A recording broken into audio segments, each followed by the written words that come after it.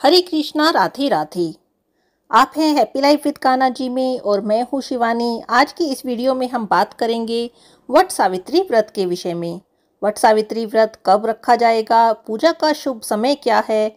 ये सब हम आज की वीडियो में जानेंगे। वट सावित्री व्रत ज्येष्ठ मास में रखा जाता है।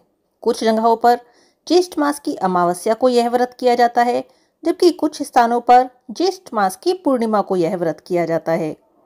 तो जिन जगहों पर ज्येष्ठ मास की अमावस्या को यह व्रत किया जाता है तो अमावस्या तिथि इस बार जो शुरू हो रही है, वो उनतीस मई को दोपहर दो बजकर चौवन मिनट से शुरू होगी, जो तीस मई को लगभग शाम पाँच बजे तक चलेगी। तो उदया तिथि के अनुसार इस बार तीस मई को वट सावित्री व्रत रखा जाएगा।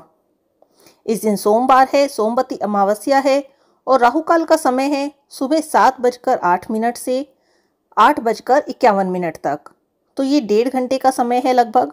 तो इस समय को छोड़कर आप पाँच बजे से पहले पहले किसी भी समय वट सावित्री व्रत की पूजा कर सकते हैं। लेकिन राहु काल के समय को आपको छोड़ना चाहिए। राहु काल में कोई भी शुभ पूजा पाठ या कोई भी शुभ कार्य नहीं किया जाता।